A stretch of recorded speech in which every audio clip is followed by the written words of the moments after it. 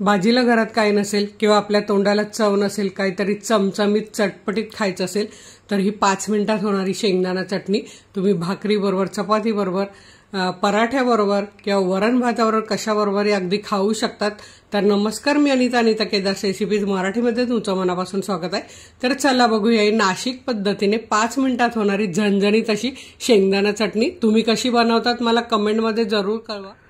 Nashik special शेंगदाणा चटणी बनवण्यासाठी इथे मी बघा शेंगदाणे भाजून घेतले. छान असे खरपूस आणि साल काढून घेतले. मध्यम गॅस करायचा आणि सहा ते सात मिनिटं अशी शेंगदाणे छान खरपूस भाजून घ्यायचे. दोन मध्यम आकाराचे कांदे असे बारीक कापून घेतलेले आहेत. आणि पाच ते सहा लसणाच्या पाकळ्या. तुम्ही जर मोठ्या असतील तर तीन चार घाला. तर मी या छोट्या गावठी लसूण आहे पाच सहा घेतलेल्या आहेत. आता आपण आधी फोडणी करून घेऊया. तर इथे बघा कढईत मी दोन चमचे तेल घातले. तेल छान गरम झाले. त्यात अर्धा चमचा मोहरी घालूया. मोहरी छान फुलवून घ्यायची आपल्याला. मोहरी बघा छान फुलायला लागली. लगेच गॅस कमी करायचा. अर्धा चमचा जिरं घालायचं जिरंही छान फुलवून घ्यायचं गॅस बारीकच ठेवायचा. त्यात आपल्याला हे कांदे घालायचे. आणि कांदे छान सोनेरी रंग येईपर्यंत आपण परतून घेऊया. कांदा आपला परतून होतोय तोपर्यंत शेंगदाणे आणि लसूण मिक्सरला चालू बंद चालू बंद करत हे फिरवून घ्यायचे जाडच ठेवायचे बारीक करायचं नाहीये. हे बघा फक्त दोन वेळा फिरवलं तर याचे असे काही शेंगदाणे थोडेसे बारीक अर्धे अर्धे असे तुकडे झालेले आहेत. तर असेच आपल्याला करून घ्यायचे जास्त बारीक करायचे नाहीये. आता आपण इथे कांदा बघा अजून एक मिनटं लागेल. एक मिनटं झालेला आहे तो छान परतून घेऊया.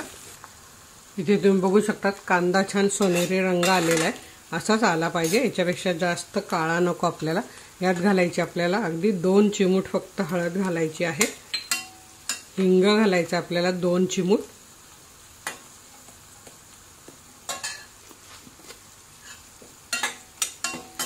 आणि हा आहे माझा काळा मसाला जो घरीच बनवलेला आहे याचा व्हिडिओ आपल्या चॅनलवर आहे नक्की बघा.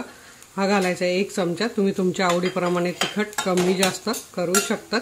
आणि इथे आपल्याला घालायचं आहे पाव चमचा बडीशेपची पावडर. खूप छान चव येते याने.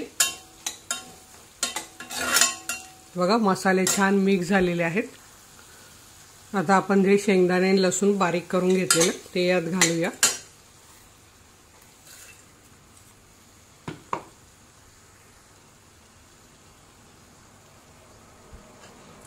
हे छान असं मिक्स झाल्यावर यात आपल्याला घालायचं आहे पाणी. आणि खूप छान चवीला अप्रतिम लागते झणझणीत मस्त. अरे बघा एक वाटीभर पाणी मी त्या मसाल्याच्याच वाटीत घेतलेलं आहे. आणि आता हे आपल्याला बारीक गॅसवरच छान शिजवून घ्यायचं आहे झाकण ठेवायचं आहे आणि मधून मधून आपल्याला हे हलवायचं आहे. मीठ आपलं राहिलेलं आहे ते आपण चवीप्रमाणे मीठ घालून घेऊया. तर साधारण छोटा अर्धा चमचा मीठ आपल्याला लागलेला आहे एवढ्या भाजीला. आणि आता हे आपण बारीक गॅसवर शिजवून घेऊया. एक मिनटं झालाय आपण बघूया. तर हे बघा सुगंध तर अप्रतिम येतोय. तर ही आपल्याला अशी हलवून घ्यायची. आणि अजून आपल्याला एक ते दीड मिनटं लागणार आहे. ही चटणी थोडीशी सुक्की होण्यासाठी पुन्हा आपण झाकण ठेवूया आणि एक दीड मिनिटाने बघूया.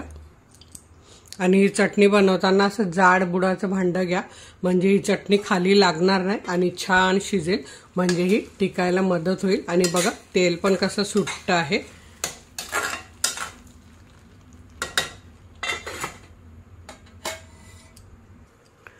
तर हे बघा एक दीड मिनिटानंतर बघूया.